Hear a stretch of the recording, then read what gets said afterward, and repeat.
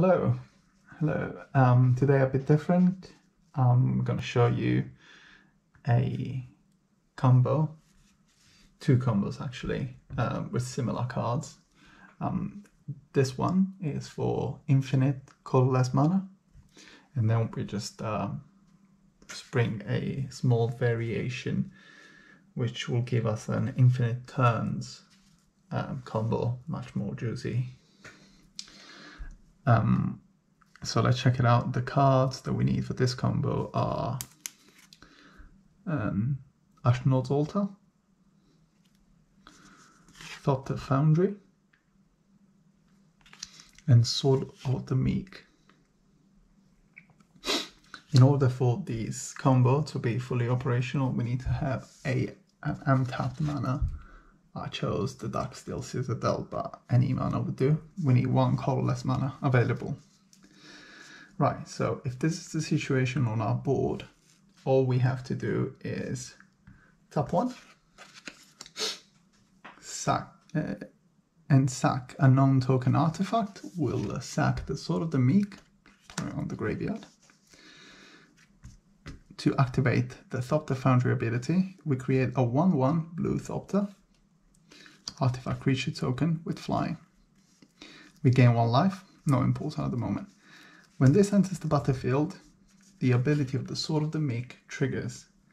Whenever a 1-1 creature enters the battlefield under our control, we can return the Sword of the Meek from your graveyard to the battlefield and attach it to that creature, which we do.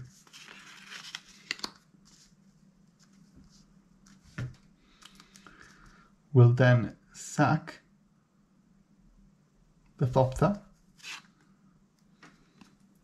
and we add two colorless mana to our pool.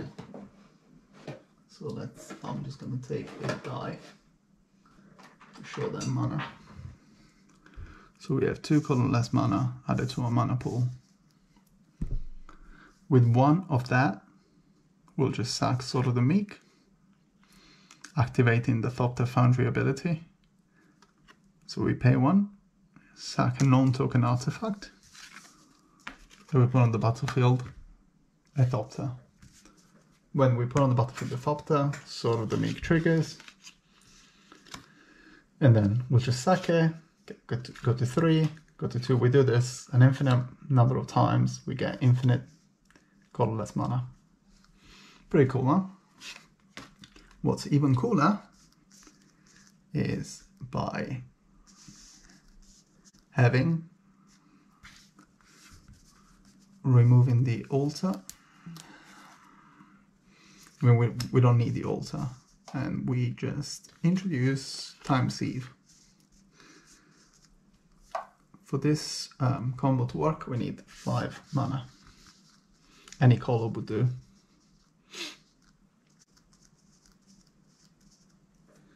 We tap one, create a Thopter, sacrificing Sword of the Meek, and then Sword of the Meek triggers, and we put it here, pay one, sacrificing Sword of the Meek, create another Thopter, so we have two, and then this will trigger, attach, we do this five times, we actually don't need Ashnod's Altar, so I'm going to remove it. We do it five times, tapping five. We then we then tap the time sieve, sacrifice Thopter five times, five Thopters, sacrifice five artifacts, take an extra turn. We have an extra turn, we untap. This one will stay on the battlefield at, at the fifth trigger. We draw whatever, and then we just do it again. Tap one, sacrifice, Thopter in. This one comes into play. Tap one, sacrifice. This, another Thopter comes in. Sword of the Meek, sacrifice. We get to five.